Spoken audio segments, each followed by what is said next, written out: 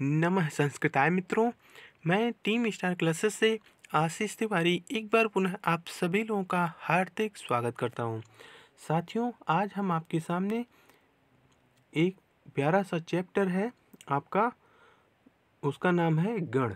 आज हम आपको गण के बारे में आपसे चर्चा करने के लिए उपस्थित हुए हैं। चलिए, आज हम गण के बारे में अध्ययन करते हैं।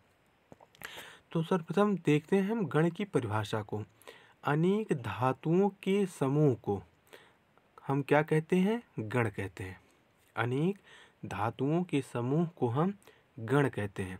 अब आप कहेंगे कि यहाँ पर धातुओं के समूह, धातु तो अकेला होता है। नहीं, धातु अकेला नहीं होता है। ये गण के अंतर्गत जो है धातुओं का, जो है गण के अंतर्गत जो है धातु आते हैं। ठीक ना? तो जैसे एक पिता होता है, पिता के पुत्र होते हैं। ठीक ना? तो पिता से पुत्र की उत्पत्ति होती है। तो ये जो गण शब्द है, ये पिता है और धातु इसके क्या है? पुत्र हैं। ठीक ना? सामान्य भाषा में हम आपको बता रहे हैं, ठीक ना? तो चलिए देखते हैं आगे। अभी हम इन सभी गण को और उनकी धातुओं को हम आपसे चर्चा करेंगे। तो देखते हैं आगे। प्रत्येक गण के नाम, प्रत्येक गण के नाम उसकी प्रथम धातु के आधार पर रखा गया। अब यहाँ पर ये बात समझने की है आपको कि जो गण हैं, वो गण के नाम, जो कि जो धातु जो प्रथम स्थान पर आते हैं, उसके नाम पर जो है, उन धातु गणों का जो है नाम रखा गया है। जैसे आपका इसे भुआदिगण है ना? भुआदिगण हमने लिखा है ना?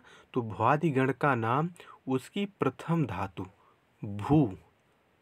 यहाँ पे देखिए हमने लिखा है भू।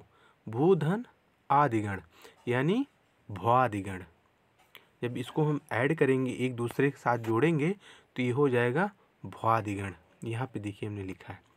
ठीक ना? चलिए, अब आगे देखते हैं। आगे क्या है? आगे लिखा हुआ है कि दस गणों में धातुओं की संख्या 1970 है। 1970 एक हज़ार नौ सौ सत्तर है। यानी आपकी जो गणों की संख्या है, वो कितनी है? दस है। ध्यान से समझिएगा, गणों की टोटल संख्या कितनी है? तो दस है। उन दस गणों में कुल आपकी 1970 जो है, धातुएँ हैं। क्लियर चलिए अब आगे देखते हैं। सबसे बड़ा गण कौन सा है? तो भुआदि गण है। ये आप नोट पॉइंट करते हुए चलिएगा ये सब इम्पोर्टेंट लाइन है, हम आपको बता रहे हैं। तो सबसे बड़ा गण कौन सा है? तो भुआदि गण है। आपसे प्रश्न करेगा कि सबसे बड़ा कौन है? तो भुआदि गण है। क्लियर इसमें कितनी धातुएँ हैं? ये भी आप जानते रहिएगा। एक हज़ार पैंतीस धातुएँ। यानी दस सौ पैंतीस धातुएँ हैं भुआदिगण के अंतर्गत और भुआदिगण सबसे बड़ा गण में गिना जाता है। और उसके बाद छोटा गण कौन सा है? तो तनादिगण है। जिसमें आपकी मात्र दस धातुएँ हैं। क्लियर?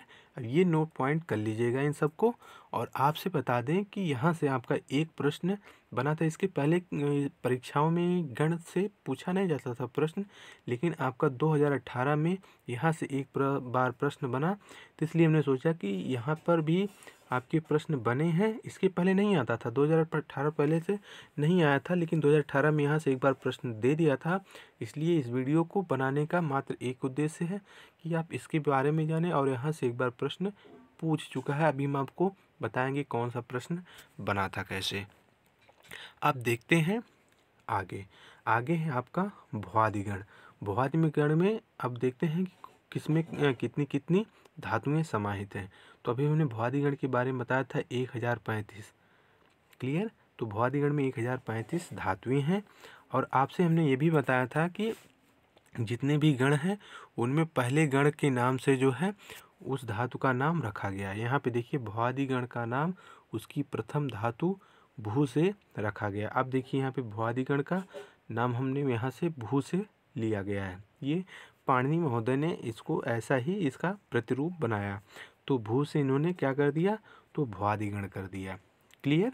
चलिए, अब इसी तरह से समस्त धातुएँ का पहला वर्ड जो है, उसी से आपका गण बना है। क्लियर? उस गण का नामकरण किया गया है। चलिए, अब आगे देखते हैं।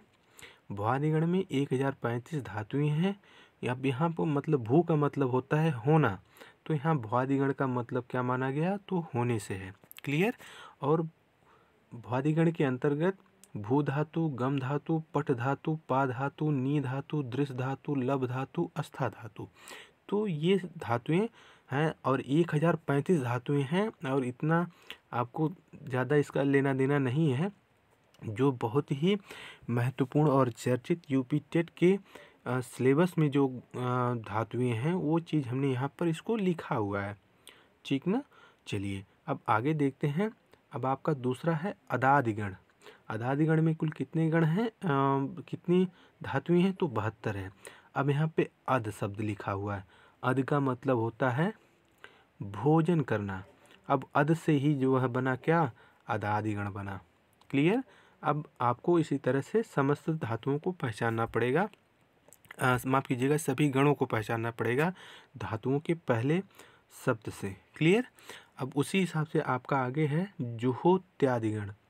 तो जुहोत्याद में आपके कुल चौबीस धातुएँ हैं, और देखिए जुह धातु से बना है जुहोत्यादिगण, और जुह का मतलब होता है हवन करना, यानी जुहोत्यादिगण का अर्थ हो गया हवन करना। क्लियर? अब जुह, माफ़ कीजिएगा, अभी आदादि गण के बारे में बता दें आपसे। कि अदाद में आपका अध धातु दो धातु ब्रो धातु हन धातु और सी धातु तो ये अदादिगण के अंतर्गत आएँगे। इसमें कुल धातुएँ हैं बहत्तर। तो सभी धातुओं को यहाँ पर लिखना संभव नहीं था। तो जो भी आपकी टेट के एग्ज़ाम में जो धातुएँ पूछी जाती हैं, चाहे वो परस्मय पद की हो, चाहे वो आत्मनिय पद की हो, यहाँ पे वही वही धातुएँ हमने यहाँ पे समाहित किया है। और आगे देखते हैं हम, जुहोत्यादिगण में कुल चौबीस धातुएँ हैं। इसका मतलब होता है हवन करना। तो इसमें आती है जुह धातु, भी धातु और दा धातु। और ये जो जुहोत्याद गण के अंतर्गत जो दा धातु है, यही जो है आपके टेट की एग्ज़ाम में 2018 में पूछा गया है। इसीलिए ये वीडियो हम, इसका बनाने का उद्देश्य यही था कि गण जो है आपका अपने आने वाले समय में यहाँ से प्रश्न पूछा जा सकता है कि कौन सी धातु जो है किस गण के अंतर्गत आती है? तो ये जितनी धातुएँ हमने लिखा है, इतना ही आप लिख लीजिएगा और इसको ध्यान में रखिएगा। क्लियर? और यहाँ से पूछ सकता है तो एक नंबर आपका आराम से बन जाएगा। क्लियर? चलिए अब आगे देखते हैं हम। आगे है आपका रुदादिगण। रुदादिगण में अंतर्गत पच्चीस गण आते हैं, इसका होता है अर्थ रोकना, यानी रुद रुद का मतलब होता है रोकना और रुद से बना है रुदादिगण। और रुद धातु है और एक आपका भुज धातु है। क्लियर उसी हिसाब से आगे है आपका रुदादि माफ़ कीजिएगा, स्वादिगण है। स्वादिगण में कुल पैंतीस धातुएँ हैं। इसका मतलब होता है रस निकालना। सु का मतलब होता है रस निकालना। इसी से बना आपका स्वादिगण। क्लियर आगे है दिवादिगण में कुल 140 धातुएँ हैं। दिव का मतलब होता है जुआ खेलना। क्लियर दिव से बना आपका दिवादिगण क्लियर हुआ ना भैया? चलिए, अब आगे है आपका तुदादिगण तुदादिगण में आपका क्या है? तो एक सौ सत्तावन धातुएँ हैं। तुद का मतलब होता है दुख होना। क्लियर और तुद से ही बना है आपका तुदादिगण क्लियर तुद के अंतर्गत आपका तुद है वृक्ष है और लिख ये धातुएँ तुदादिगण के अंतर्गत आती हैं। क्लियर? आगे है आपका तनादिगण में तो कुल आपकी इसमें दस धातुएँ हैं और यही धातु आपकी सबसे छो माफ़ कीजिएगा, यही गण आपका सबसे छोटा गण माना गया है तनादिगण को। अभी हमने आपसे ऊपर इसके बारे में बताया था। तो तनाद को किस धातु से बनाया गया?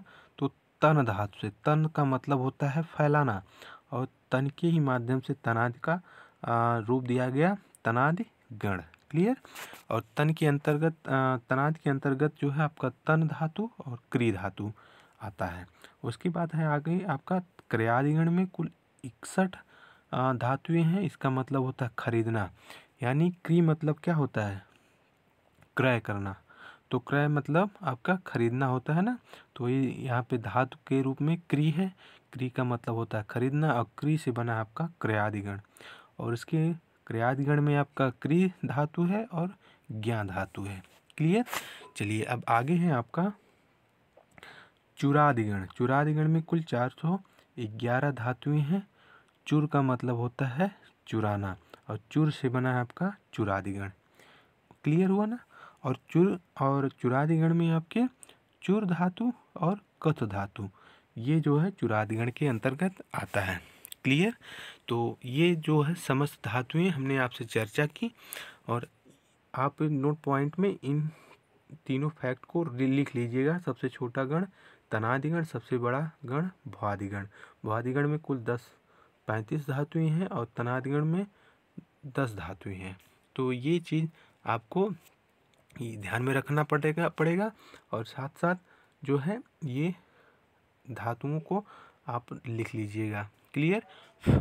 और आपको हम इसको गायन के माध्यम से बता दें ताकि आपके दिमाग में ये चीज़ सेट हो जाए और आप भी गायन के माध्यम से गाएँ और इसको याद करने की कोशिश करें। वादी अदादि जुहोत्यादि रुदादि स्वादि दिवादि। तुदादि तनादि क्रयादि चुरादि तो ये जो है आपके गण हो गए। तो सभी दस गणों का हमने गायन किया, फिर से एक बार गायन करते हैं हम। वादी अदादि जुहोत्यादि, रुदादि स्वादि दिवादि। तनादि चुरादि तो ये जो है आपके दस गणों को हमने यहाँ पे आपके समक्ष गायन किया आप भी गायन करने करें। और साथ साथ आ, इन जो गण हैं इन गणों के जो जितने धातुएँ इनके अंतर्गत आती हैं इसको भी आप नोट कर लीजिएगा, इसको इसको लिख लीजिएगा और इसको याद कर लीजिएगा। स्वादिगण में कुल कितनी धातुएँ पैंतीस दिवादिगण में एक सौ चालीस, सुदाद में एक सौ सत्तावन, तनाद में दस, क्रियाद में इकसठ, चुराद में एक चार सौ इकतालीस। तो ये चीज़ें भी आपको याद करना पड़ेगा। एक नंबर से यहाँ से आपका पूछा गया था, इसलिए ये वीडियो आपके लिए हमने महत्वपूर्ण समझा और आप इसको लिख लीजिएगा और याद कर लीजिएगा। तो आज का वीडियो आपको कैसा लगा? अपना विचार हमें ज़रूर दीजिएगा और इस वीडियो को ज़्यादा से ज़्यादा अपने समूहों में सब शेयर कर दीजिएगा और लाइक, शेयर, सब्सक्राइब ज़रूर करना दोस्तों। फिर मिलते हैं अगले भाग में। अपना ख्याल रखिए, स्वीट ड्रीम के साथ। मस्त रहिए, व्यस्त रहिए। अपना ख्याल रखिएगा। Take care. जय हिंद, जय भारत। नमो नमः।